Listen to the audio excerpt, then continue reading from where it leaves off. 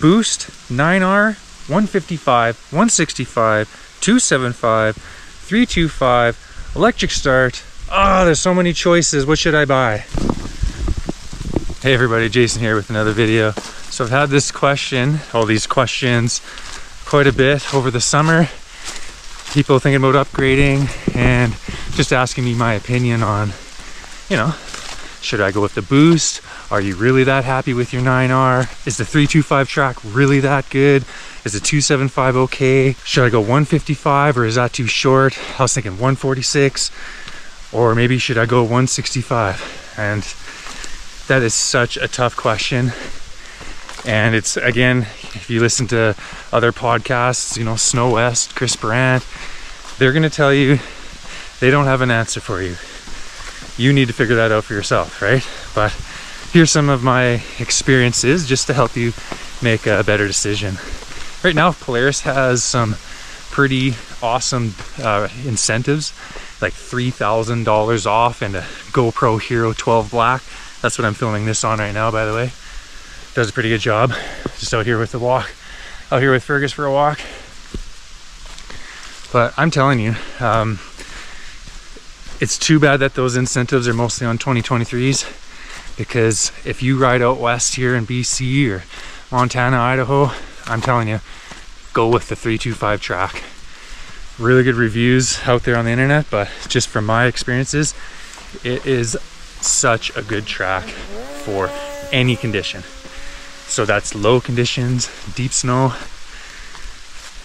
Another thing too, um, if you're thinking 9R, just do it. You will not be disappointed. Majority of the riding we do, it's not the deepest days, and I really like riding in the trees, you know, um, picking new lines, and that lightweight of the 9R is so nice. Now, if you were thinking boost, you want to go boost, you probably won't be too disappointed. The only thing is, is you do notice that front end weight. So the experience I had this year was on a 155 Khaos boost and it really likes to wheelie. So when it does that, it makes the front end feel a lot lighter. Also, we put a titanium can from RPM on it. It's the titanium chambered Q-Muff.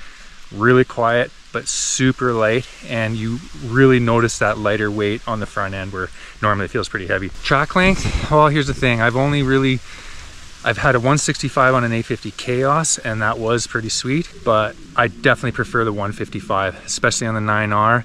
Just makes it feel so much lighter, turns a little bit, it's just more nimble. Now, I haven't been on a Khaos Boost 165 325 yet, and that's the track that I really want to try. I've been on a couple Pro RMK Boosts 165 to 275, and they're okay, lots of traction. Uh, another thing too, electric start the 9R is pretty easy to pull over. Initially I thought it felt a little bit tight, but it's nothing, you know, you get used to it. I don't see any reason to buy electric start on a Polaris. They start so easy, really easy pull effort, and then it usually starts on the first or second pull. Don't hit any rocks. Me, I want one of each sled. I, I want a boost for those days when you're planning on riding more wide open terrain, much more fresh snow. But if it's any other day when you're planning on, you know, sticking to the trees, not a huge snowfall, I'm going 9R. That lightweight, instant acceleration. It's the hardest accelerating snowmobile out there, especially if you do some clutch adjustments. So this year I'm hoping to upgrade to the Ibex clutch kit. I just got to start saving up for one. Or maybe Ibex, I could uh, do a little review if you want to send me one. That'd be pretty awesome. I do honest reviews, right? If it's not what I like, I'm gonna say it. So one other question I had was about the cooling with that 325 track. People are worried that with that real tall lug height, that it might get, um, that the sled might start to overheat when you're going up the trail.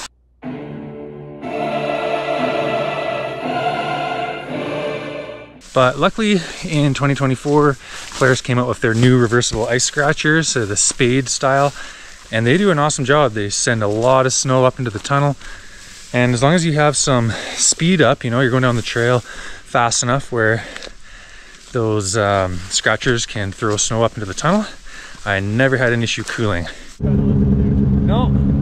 So let's uh, take a look at these new ice scratchers in action.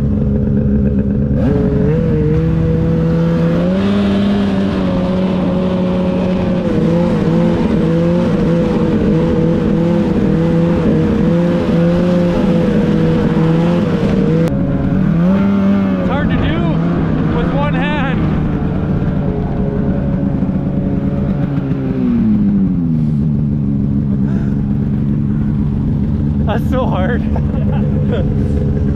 think they do make a difference. I don't